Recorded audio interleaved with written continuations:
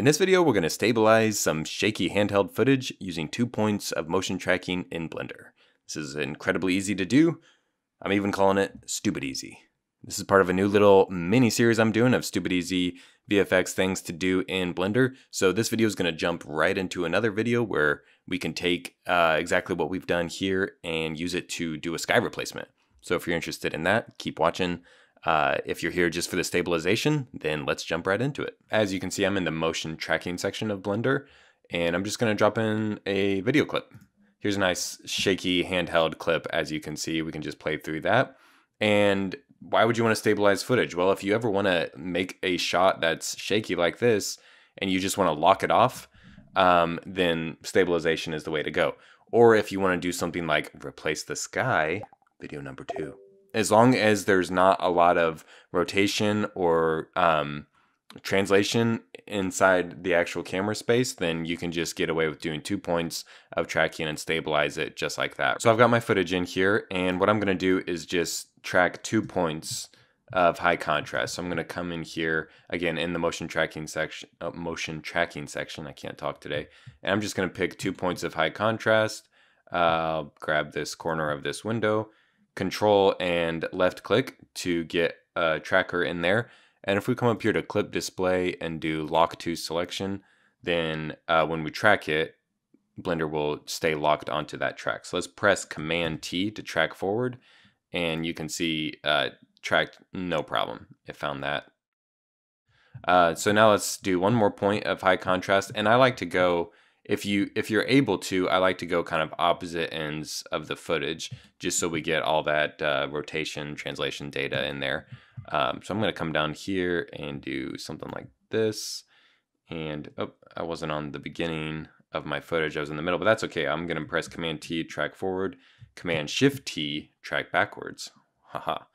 and so now uh, you can see it, it doesn't even deviate. It pretty much stays there the entire time. Voila!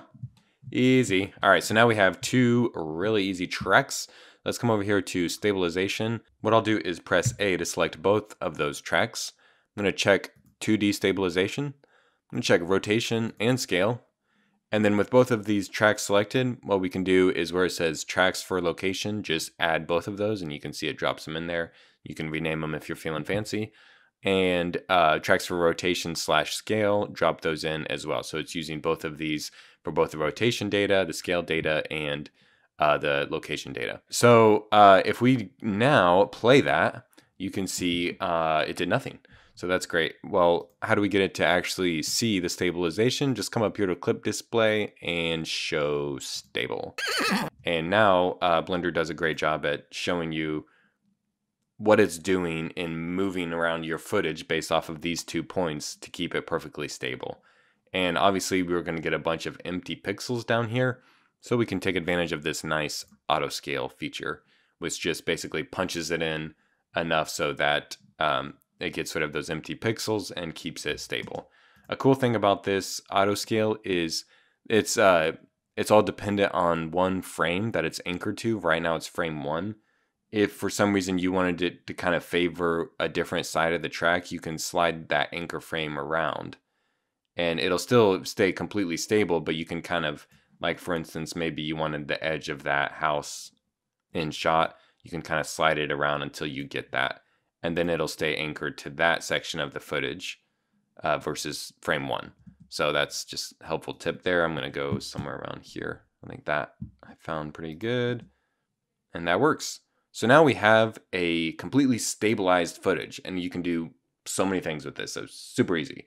Um, but how do we get this into like an actual clip? Because right now it just lives in the motion tracking section. Well, I'm glad you asked. Let's go up here to the compositor. And this is how I have got my compositing set up, so don't panic if yours doesn't look like this. I just have a window split over here so that I can have my viewer nodes set up on a different side. I like to just keep my nodes separate that way. So I'm going to delete this render layer. We don't need that guy. It's as useless as the default cube right now. And I'm going to uh, drop in a movie clip node. And then our footage should be right there.